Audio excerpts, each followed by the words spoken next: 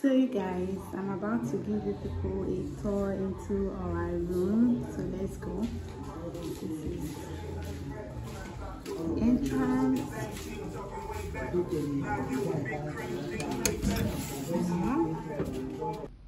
And this is our AC. We'll just sell it off. There's nothing wrong with it, but here we are not allowed to use the AC. So that's why we kept it here for now. It's just entrance of our house. This is our room. our table.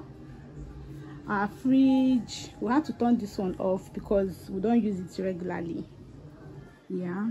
And this is our big mocha phone.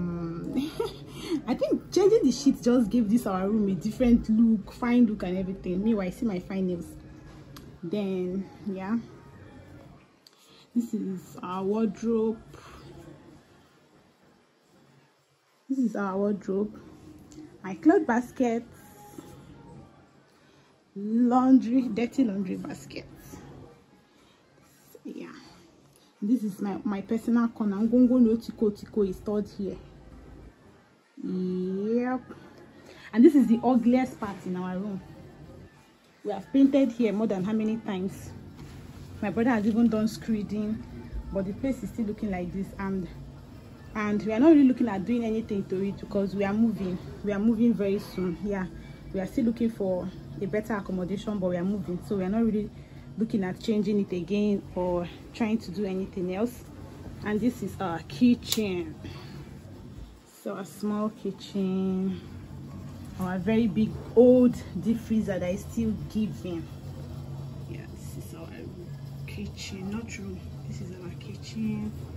This is what our kitchen looks like. This is our cooking area. If there is light we use the um, electric stove. Yeah and if there is no light this is our gas